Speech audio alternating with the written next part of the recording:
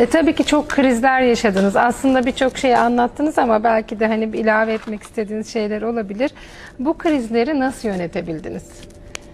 Şimdi bakın e, bundan sonra yine olacaktır krizler. Çünkü hayat devam ediyor. Ben krizleri şöyle değerlendiriyorum genelde. Bir insan düşünün.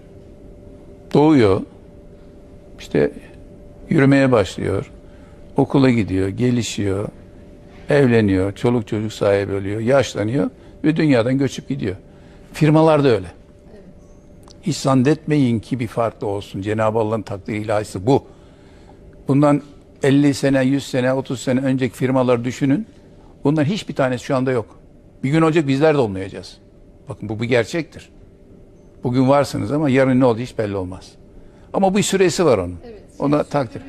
Ha, sürdürülebilirliği için ne kadar götürebildiniz?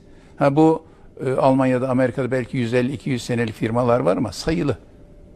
Ama kaç tane firma gelmiş, milyonlarca firma kurulmuş, fabrika kurulmuş. Hepsi el değiştirmiş. Bu böyle, sistem böyle. Ben de onun için krizleri öyle değerlendiririm. Ha bugün başınız ağrır, bir hap kullanırsınız, geçirirsiniz. İşte böbreğinizde taş vardır, kırdırırsınız. Affedersin. Ameliyat olma ihtiyacı duyarsınız, kestirirsiniz, aldırırsınız. Krizler de öyle. İşte o günkü krizde neyse hiç morali bozmadan hep krizleri öyle atlattık biz. Krizleri kendiniz heyecana kapılmadan sakin kafayla düşünüp unutup o kaybınızı yola devam. Yola devam. Burada ne dikkat edilecek? Bir, bu nasıl sağlanır? İşte bulunduğunuz mevki çok önemli.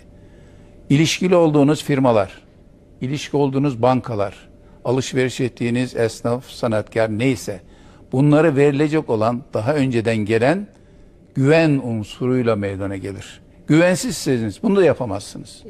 Biz en büyük benim bu yaşıma kadar ki dikkat ettiğim en büyük kazancım güven meselesidir.